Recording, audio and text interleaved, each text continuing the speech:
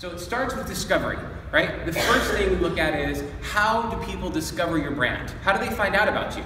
And this is where most, uh, when you look at private label, it tends to be I'm going to the store for something and I see the two products by, side by side. This one's a little less expensive, so I buy it, right? And that's been the way it's worked for many, many years. But the thing is, there's ways to do more than that today and be more effective at it, right? The next thing is, once they've discovered, how are they activating? How are they engaging? What kind of conversations are they having in social media? What are they telling to their friends? So when someone actually has that experience, what does that engagement look like? So that's the activation. That, of course, leads to transactions. But this is where most businesses stop. And this is where, again, if you look at what happens after transactions, this is where all the value comes. And that's active, uh, advocate, the advocacy. Advocacy is the difference between someone buying your product once and someone becoming a raving fan of your product and helping to get you more customers. See, Peter Drucker used to say that the purpose of business was to get customers. But today, the purpose of business is to get customers that get you more customers, right? That's advocacy. So we're gonna spend a lot of time today talking about advocacy, but this whole customer journey mapping, it's gonna be different for different customers. So you have different people using your products, and so you need to think about it not just in the context of one ideal customer, but the, the, the two or three that are sort of driving your business and driving your volume. So in each, as we're discussing this, it's not gonna be the same answer for everybody. It's gonna be slightly different, right? So, designing exceptional experiences. We have something we call heart, uh, head, heart, hands, right? So the idea is you first have to win people's heart, emotionally connecting with them, before they'll intellectually under, start talking and thinking about your brand.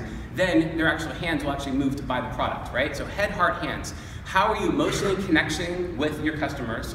How are you getting to think about your brands? And then how are you making them take some action? And that action doesn't always necessarily mean transaction. It could be they're leaving a review or they're talking about your products. There's all kinds of actions that they can take, but they're never going to do it until they have an emotional connection and understand what you're doing, what you're all about, right? So the relationship in this journey mapping has changed because the path to purchase is no longer this linear thing. It used to be like, you know, we, we, we connect here and we buy here and everything in between is pretty, pretty straightforward, right? In 1950, Tide could say, you know what, go buy Tide, we're the best brand, that's it. They'd walk in the store, they'd buy it, that's it, right? Now, you look at the, the multitude of devices. People are engaging with brands everywhere. They're taking it on their mobile phones, right? And then they're actually going online to do some research. They're doing some searches. Then they're actually talking to their friends in social media. Then they're basically going around and finding out what are other people saying about you. They're understanding those pieces, and making purchasing decisions. So that has sort of changed the landscape of how we're engaging now with customers. But why does it matter, right? Experience matters because it, customer experience leaders obtain returns of 77% greater than their marketing investments than those who give uh, little importance to the overall market approach, right? So if you're transactionally focused, then you're considered down here a customer uh, uh, experience laggard. But if you're out there in front and you're doing a lot of these things ahead of time, you have a massive gap.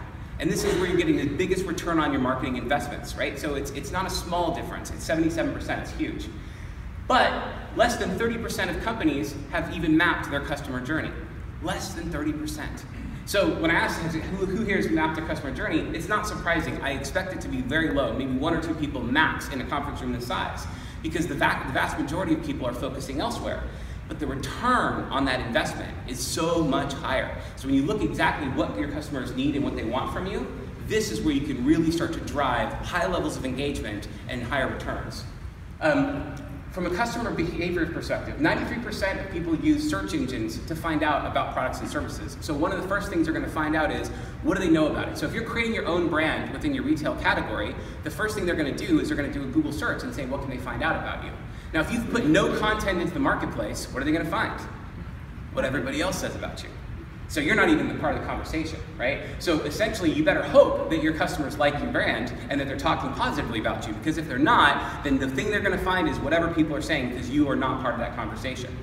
88% look at social channels to form their opinion. So they're saying, hey, has anybody ever used the, uh, Archer Farms? Anyone like Archer Farms? What do you guys think about that? People have those conversations through social media all the time. But what's great about it is oftentimes those are public conversations, which means other people get to view them. So for example, on Twitter, that Twitter feed lasts forever, right? So if someone does a Google search and they find it, the, the actual Twitter, the tweet itself can be found and indexed and people will click on that link. which is this long tail conversation, which is great. So if people are blogging about your pro products and services, that's stuff that people will find through search engines, but they'll also be referenced in social media. So when people are asking, what do you think? They're gonna point back to those, those points.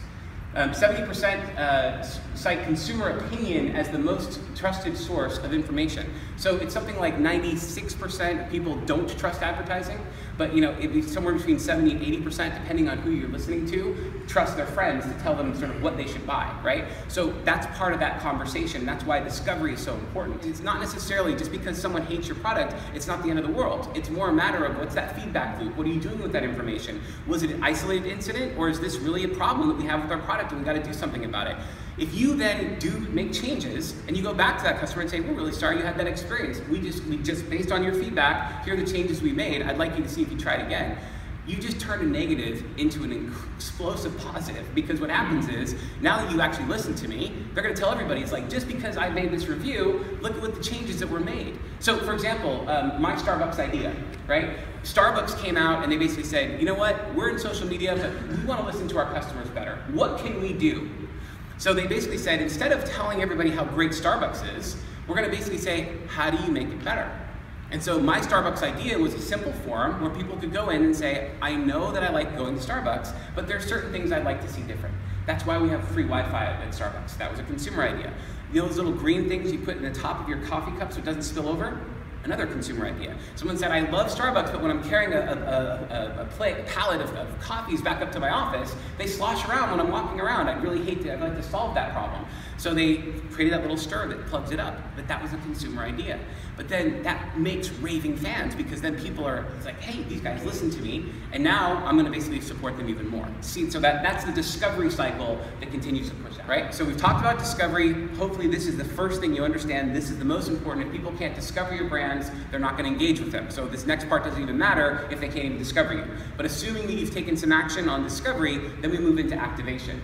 So this is the interesting thing about Trader Joe's, right? I'm sort of jumping up a little bit ahead here, but they, they've actually capitalized on market trends such as better for you and healthier for you options by listening, engaging with their core customers, and getting ahead of demand. So what's interesting about who's crushing it in private label, you know, Trader Joe's is crushing it, but it's not for the reasons you might think. It's not about just sort of like having the availability inside their stores. They're actually actively talking to their customers, both physically and online right? So when they're actually talking to customers inside of Trader Joe's, they're asking questions. What are you looking for? What do we not have here that we should have? What are ways we can improve our store? And they're feeding that back to corporate. The flip of that side is they're also doing a lot of work in terms of social media, and they're saying, what are people asking about in terms of you know GMO? What are people talking about in terms of gluten-free? You know, what are those trends? And what should we be paying attention to? And then they take that back to their sort of team and say, okay, this is what we're looking for, and these are the products we're looking to, to, to, invest more in. And because of that, they're really doing a great job of connecting with their customers on a regular basis. Twix, for example, does a great job on the candy side of engaging with customers. They have fun tweets like this one that says, you know, if, uh, if a Twix bar uh, is breaks in in a forest, you know, does it still sound delicious, right? Just having some fun right that. So something like that, you're like, well, that's nonsense. Why, why would that matter? Because it's funny and it's humorous and it gets people to smile, right? And if you've read uh, Gary Vaynerchuk's Jab, Jab, Jab, Right Hook, great book on social media, fantastic, right? This is a jab, right? It's not a sale. No one's pushing you to buy something. They're just reminding you that it's a cool brand and you should, you should have that sort of association with that. One of the most brilliant campaigns was the Super Bowl 2013 Oreo dunking in the dark. Do you remember this? I mean, amazing, right? So Oreo was smart enough to have their social media team on point, right, during the Super Bowl. They were looking for opportunities to sort of engage with their customers. And when the, when the power went down in 2013, it was seconds later, they posted and said, that's okay, you can still dunk in the dark. It was brilliant. Millions and millions and millions of retweets. This, was, this, you can't buy this kind of exposure. They had better branding from this tweet than their Super Bowl commercials, right? It's because they were there, they were sort of in the conversation. And it's that kind of stuff that basically helps drive that brand. People get hung up is they're focusing on tweets and they're focusing on likes and they're focusing on sort of, you know, retweets and engagements and all that stuff, but none of that drives to sales right? So one of the challenges is when, when, your only metrics are basically engagement metrics, it's not far enough You're basically getting a good litmus test of sort of how things are working and how people are engaging with you, but you got to take it to that next level. So as I was mentioning in the very beginning of my session, um, I've got a ebook called The ROI of Social Media, right? It basically breaks down how do you track and measure the, uh, the ROI of your social campaigns. If you go to twitter.com slash Bill Carmody, you can download it for free. There's no registration or anything, you just pull it down. But the reason I'm showing that is because people are often not focusing on the right ways to measure the effectiveness of their social media campaigns. Because this does, in fact, build a transaction. And if you've done your job in the discovery and the activation stage, then you're going to get to transactions. And from transactions, this is where we are measuring the right things. The right things are your sales, how you have a direct correlation between the activities you're doing in social media and your sales.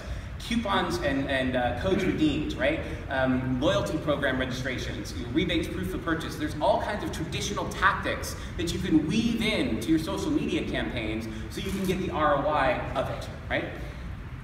Customers spend average 23% more when they have established emotional connection with the brand than customers that do not. So if you actually look at people who are actively engaged versus those who are not, the people who are actively engaged spend more, right? And we look at blending of this tried and true tactics. The average redemption rate for a coupon is somewhere between 1 and 10%, right? That's what we see for the FSIs and things of that nature. You're all used to that. We're getting 68% when we do a social media campaign with a coupon. 68% redemption. It's insane. but why? Because people are engaged and people are actively asking for it and we're doing it in creative and interesting ways. And so when people actually get that coupon, it's just not another coupon they stick in their wallet. It's something that they had fun with and they, there's a memorable aspect to it. So getting a 68% redemption rate is not unheard of. We're seeing this all the time with a lot of our customers. Remember the Coke Share Coke program? Oh yeah. Oh my God. This was so brilliant because it started out in social media, only in social media, right? They didn't do any television advertisement, they didn't do any billboards, not when they started. When they started, they just changed the packaging and told people online, it's like, hey, if you take a picture with your friend, we're gonna retweet it. That's it, that's all they did, right? Massive success. So much so that what ended up happening is they had these viral videos that they didn't even create. See, the thing is, when you create a good campaign, you have to let it go. because you don't own it, right? And when they had a couple that basically talked about being pregnant on YouTube using Coke cans, they were announcing their pregnancy to the world using Coke cans. Like, that's when you know you've hit it. and that's the whole point. That, that transaction just continues to feed upon itself because as more and more people were playing with this, they were using it. And see, the thing is, it wasn't, they didn't even use a coupon for this. All they did is change their packaging. Can you guys change your packaging? You know, so that's the thing. It's like, what can you learn from these brands and say, what simple things can I do that will dramatically change my sales for my business, right? So now, I'm going to tell you the most important thing from this session is advocacy. What you need to learn, if nothing else you take away from this customer journey mapping, is the last mile is what even the national brands are not doing a great job of. Coke is doing a great job, but most are not, right? Coke started with My Coke Rewards right? My Coke Rewards was just having those little codes underneath the cap. Very, very simple thing. They created their own currency. Now you're just like, well, we have this loyalty program. We all our, all our shoppers have shopper cards, right? But what are they doing with it? You know, you're tracking all their data. They're getting discounts on the receipt. It tells you how much money they've saved. What else? Some people are giving them free gas. Okay, great. Coke has built a machine behind their My Coke Rewards program. So much so that other brands are buying My Coke Rewards points to, to, to put inside of their packages. Like, oh, that's crazy. Like, why would you promote Coke? Well, that's because it's such a popular back-end campaign. And that's what I'm getting at is that advocacy happens when you start to build that sort of head of steam. So how do you create raving fans? That's the question of the day right? I'm not talking about a casual buyer, but how do you get people who love this brand, right? And you can see this in Archer Farms. You know, when people are, I go back to Target because people are naturally passionate about when they're shopping at Target, just as part of their culture and their DNA. But even simple things like Archer Farms, you look at what people are saying about them and they're talking about it online. This is unprompted. Uh, you know, Target's not doing anything with this. But what's great about it is people enjoy the product. Trader Joe's, another one, raving fans. People are like, oh, I can't wait for my Joe-Joe's. You know, they're just like, it's amazing, right? And these raving fans sort of get you more customers. And then people are saying, you know what? I took those holiday, uh, you know, uh, was it the uh, mint, you know, cookies from Trader Joe's, and I, I dipped them in chocolate with my fondue set. And now I create these chocolate Joe-Joe's. You can try that. They're amazing, right? Raving fans. These are people that are taking the, these products, they're doing things with it, making them their own, and telling their friends about it, right? That's how you get more buyers, right? You, when, when somebody sees something like that, they're like, that's really cool, I should try that. And they'll go out and they'll buy it and they'll try the, try the recipe. Now, the big piece of this I want to tell you is a lot of people are looking at me like, oh God, I don't have another thing to do. I can't imagine like, you know, doing the whole social media campaign and it's you know, time and money and whatnot. I get you. I hear you, right? I've been doing social media campaigns since 2008. So for the last eight years, I've watched this arc. And you know, there's just a lot of bad crap out there, right? So from a content perspective, there's a lot of ways to get this wrong. So I'm pleased to tell you that there's alternatives to just going out and building Facebook pages and Twitter pages and Pinterest pages and all that kind of stuff. Influencer marketing is your answer. Um, anyone wants to give me their card after the session, I will send you the Nielsen Catalina uh, White Wave study which talks about sort of how Whitewave has tested out all their various different digital media campaigns, and, then, and this was just released this week. The number one thing that they've found to be most effective is their influencer marketing campaigns. Because for every thousand impressions they get through influencer marketing, I'm gonna explain that what that is in a second, they're getting $285 of incremental sales. That's sales at physical retail right? So what's interesting, when people talk about sort of the ROI of social, this is a great example. And you see the difference between sort of the best banner ads, the, the average banner ads at White Waves gives you about $2. So for every thousand impressions, they get about $2 worth of sales. And the best campaigns they've ever done with banner ads gave them about $4, right? This campaign, $23.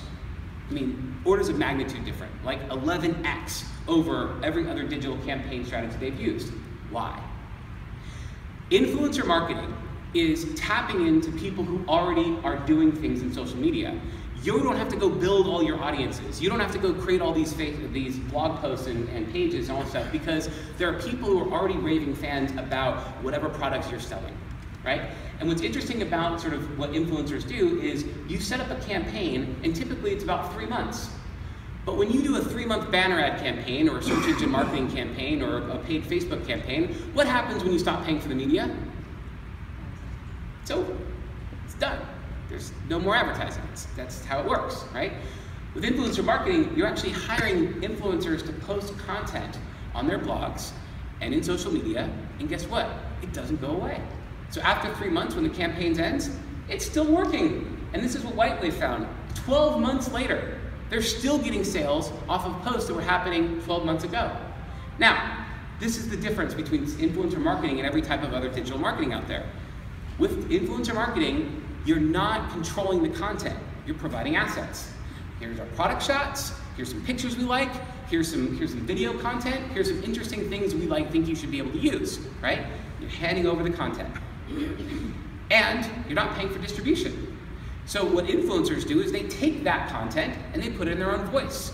These are mommy bloggers, right? Who would love to get paid for blogging, but they don't. So the thing is, it's fairly cheap to be able to hire these mommy bloggers, even when they have, whether it's you know 500 followers or 500,000 followers or 5 million followers. It doesn't matter because these, these, these folks want to monetize the great work that they're doing. And you guys provide that vehicle from basically at scale. So you're not hiring one or two influencers, you're hiring hundreds of influencers at scale. Does that make sense?